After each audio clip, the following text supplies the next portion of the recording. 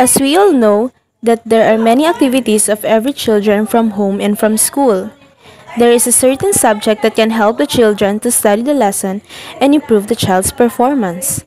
But the question is, how to motivate the children to study the subject effectively? The potential target for this project are schools and other institutions that aims the children's progress, specifically grade 1 pupils, on the subject matter, mathematics. Our business plan for this project is through module updates. Every module has its every level of difficulty. There are types of questions to be answered with corresponding feature items that can be applied to the character or the avatar itself. Once the user gets the highest score, there are premium items that can be used throughout the game. How will we solve it? With the use of a broadband device the application downloads and preview the entire project. There are similar system or project for this kind of system.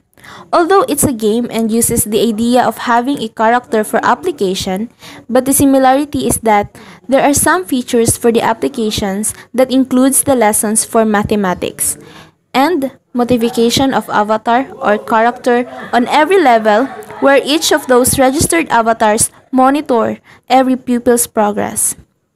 Every progress matters with the avatar throughout the game. Technically, it will affect children's emotion to keep playing the game. By answering those questions on every level, getting the high score, and see the desired output or the emotion itself of the avatar.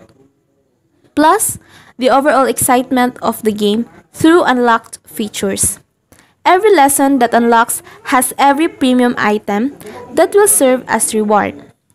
The award will act as customization of every avatar to make it fun, enjoyable, and will urge the children's mind to play the game wholeheartedly.